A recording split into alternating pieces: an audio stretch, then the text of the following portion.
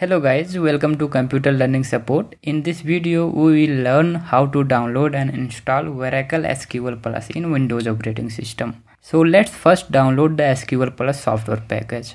For that, just open web browser. Here I am using Chrome web browser. You can use any web browser as your wish. On Google, just type Oracle SQL Plus Express Edition and press enter. After pressing enter, you can see the official website is visible oracle.com and also Oracle Database Express Edition is given. So just click on this link. Now here you can see under the download option Oracle Database Express Edition for Windows is given. So we want it for Windows so just click on this. Now download should begin. Here you can see the download is started and its size is 1.8 GB. So just wait and let the download complete. So I have downloaded that file. Now you can see it is in zip form. So let's extract this file.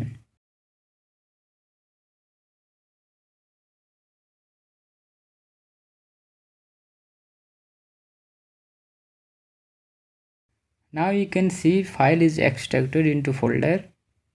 Simply open this folder. Here you can see the setup application is given. Just double click on it to begin the installation. Now you can see the setup is started. Here just click on next. Now check mark I accept the term in the license agreement and then again click next. Here you can see the default installation path is given in C drive. So don't do anything, just click on next.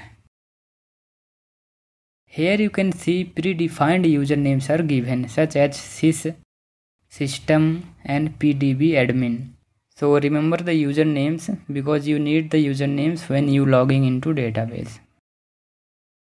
Now it is asking to set up the password. So I am using dbms 123 just remember one thing don't use any special character only use letters and digit okay?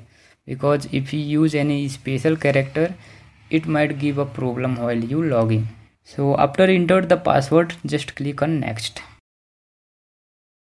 Here installation button is given just click on install. Now you can see installation is started.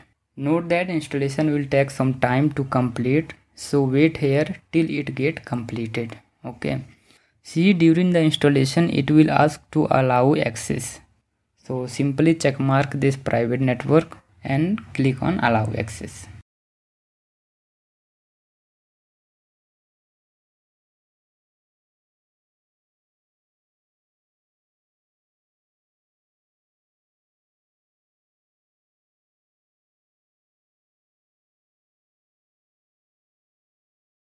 now you can see the oracle database installed successfully in our system. So just click on finish. Now press windows button in keyboard and search sql plus. Here you can see sql plus application is installed. So open it. Now you can see it is asking your username. So simply give the username system and press enter. And it is asking password. So give the password which we have given during the installation like I have given dbms123 and press enter.